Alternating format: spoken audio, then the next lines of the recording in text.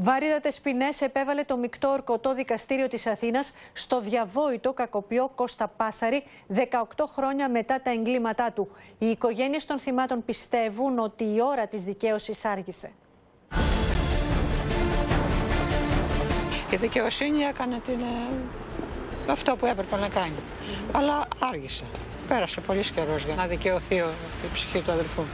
18,5 χρόνια μετά τα εγκλήματα του Κώστα Πάσαρη, οι δικαστές τον καταδίκασαν σε 4 φορές ισόβια και 71 χρόνια κάθριξη χωρίς να αναγνωριστεί στον κατηγορούμενο κανένα ελαφρυντικό. Το δικαστήριο τον καταδίκασε για, τις, ε, για όσες πράξεις έχει συνομολογήσει. Αν είναι παρόν, πιστεύουμε ότι η πραγματική του εικόνα θα έπιθε το δικαστήριο ότι αξίζει να του χορηγηθεί και το ελαφρυντικό που ετήθηκε. Ο Κώστας Πάσαρης κρίθηκε ομόφωνα ένοχος για τέσσερις ανθρωποκτονίες, έξι απόπειρες ανθρωποκτονιών, τρεις ληστείες, αρπαγή και διακεκριμένη κλοπή. Η απόφαση αποτελεί δικαίωση για τις οικογένειες.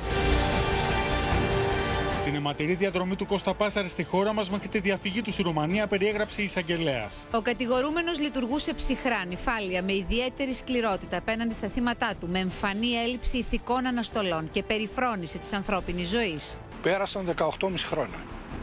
Είναι άμεσος και αναπότρεπτος ο κίνδυνος να παραγραφούν τα δικήματα.